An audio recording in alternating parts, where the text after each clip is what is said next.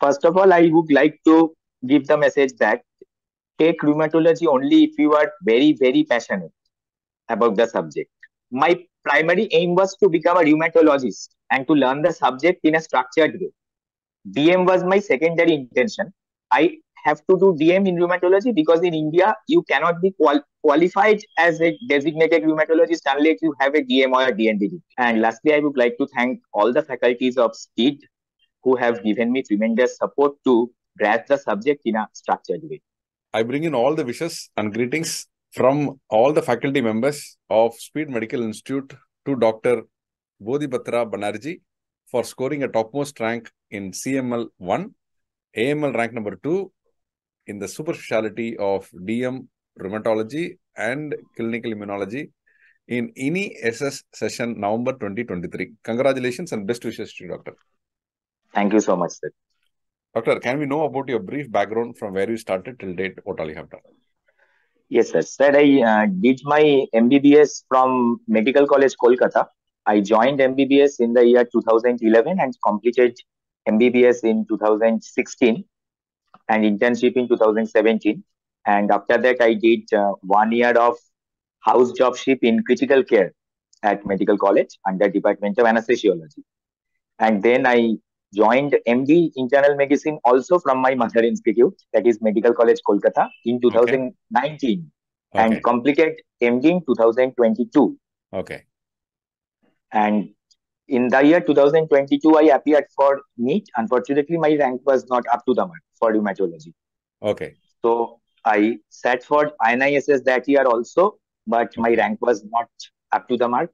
I also sat for INISS in this year, July session, Okay. My rank improved, but still it was not enough to get rheumatology. And this was my third attempt at INISS this session. Yes, correct. Now, your primary exam was INISS or NEET SS? Sir, actually, I when I started preparing for uh, rheumatology, I grew up interest in rheumatology from my second year onwards, MD. So I decided that I will be taking up rheumatology because there is no other alternative branch for me where I can survive. It became a kind of passion for me. Okay. But at that time, the pattern of NEET SS was different. Yes. It was subject focused. So I initially, when I took speed, I was preparing myself in that way only. Okay. But uh, from 2022, the pattern of NEET changed completely. It became Harrison based. So Correct. I was feeling a bit difficult to cope up with the new pattern because I was more rheumatology focused and my other specialties for uh, medicine were not that strong. I Okay. honestly confess. Okay. However, I was trying my best. So, in that uh, angle, INI was perhaps more easier for me because INI is primarily subject oriented, but the only difficulty for INI is that the number of seats for rheumatology was very limited. It is still now. So primarily, if you ask me, sir, I was focusing on rheumatology, but since INI both has INI and NEET has pros and cons. Where in one the number of seats is more, but the pattern is a bit different. In another, the pattern is more focused, but the number of seats is limited. So I was preparing for both, but trying to cope up with this new pattern of needs, sir. Yes. Now, because I could definitely see that your inclination more towards INISS because you have started your preparation specialty based on rheumatology. And uh, in that situation, as you rightly said, the number of seats are very, very limited when concerned with INISS for rheumatology. So when that in mind, I think this, I mean, you said it's the third exam that of uh, INISS in improving the rank and coming to the topmost and has to be within top two to get a confirmed seat.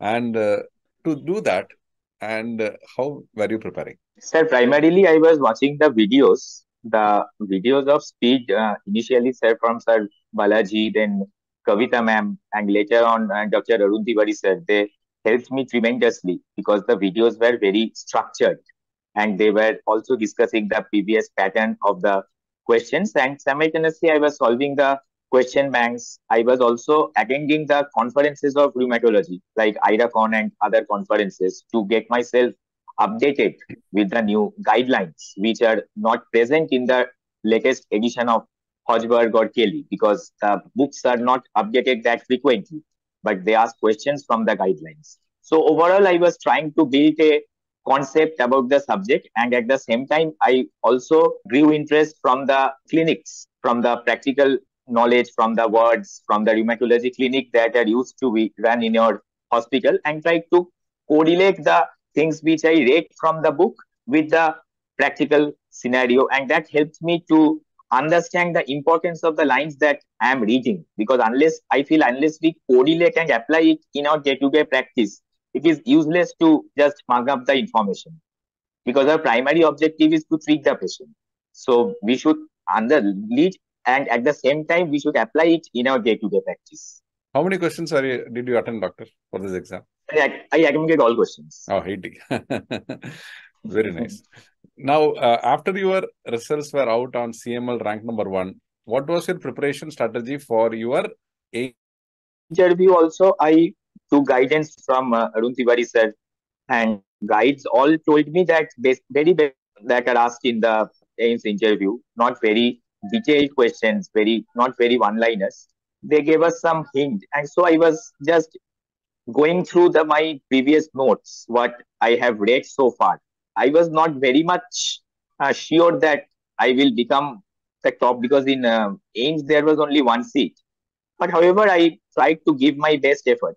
And uh, actually, when the interview of AIIMS occurred, before a few minutes, a few uh, hours earlier, the allotment of NEET for this year came out, the provisional okay. allotment. Okay. And unfortunately, I was not allotted any seat in NEET right. because in NEET 2023, my rank was very mediocre rank. I scored uh, 1359, 1359 this year.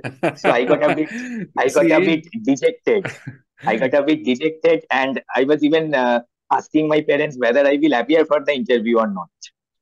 However, uh, my parents both supported me, and so I appeared for the interview somehow and tried to just give up my best. So, doctor, 1300 rank in NEET SS. Huh? 1300 NEET SS and not allocated just before the AIIMS interview. And yes, uh, and with the rank number one, see, I mean, without rank, I mean, proper rank, it's okay. But rank number one in a super specialty of rheumatology in CML, and uh, it looks very, very contrary and tells you very clearly this both exams are very, very quite different, way apart. Yes, sir. And uh, and then after the interview results were out, then what was the state of the mind? Because the mind, according to the situation, our state of mind changes, keep on changing. Definitely, definitely, mm. sir.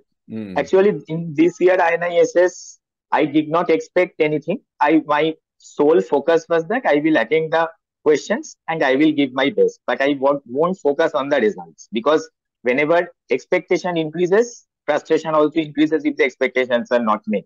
That happened to me in this year. Me, I was expecting a seat, but I did not get a seat. So I was frustrated. So I thought I, I will give my best, but I won't focus on the result.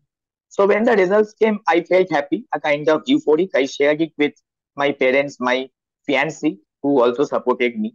And also I shared it with uh, the my seniors, my teachers also. And at last I was happy for that because at last my dream of becoming a rheumatologist will come true. Yes. And uh, very, very inspiring and uh, and your the state of mind that you have been working and it looks very tremendous and you are, and it's all it's limited and you have worked towards it and you achieved it i mean uh, and Thank it is a role model uh, you will be a role model people who are watching this video will definitely feel very very inspired to go Thank on you, with uh, persistency and consistency okay doctor what is the message that you want to give to the future aspirants of dm rheumatology and clinical immunology yes sir first of all i would like to give the message that take rheumatology only if you are very, very passionate about the subject. My primary aim was to become a rheumatologist and to learn the subject in a structured way. DM was my secondary intention. I have to do DM in rheumatology because in India, you cannot be qual- qualified as a designated rheumatologist unless you have a DM or a DNB. Even I opted for MRCP. I was thinking about going to UK to do CCT because I one time I was thinking that perhaps I won't be able to uh, get a seat because the competition is very tough and it is becoming tougher day by day, especially for rheumatology. But somehow, so my message will be that love the subject and only if you love the subject, take the subject. Just don't take the subject, especially for NEET I'm talking about, just because you are getting the subject at your rank. Because the subject stays with you for a lifetime. It is like going into a relationship. It stays with you for a lifetime. And so be passionate about the subject and at the same time, try to learn from day-to-day experiences, which I try to do, try to do from my clinics, rheumatology clinics. Because reading books only is not enough. Because the studies that are given in the books, they are mostly from a different cohort. In India, the studies are limited. So unless you gain proper experience by seeing patient, you won't achieve that much of confidence to treat a patient independently.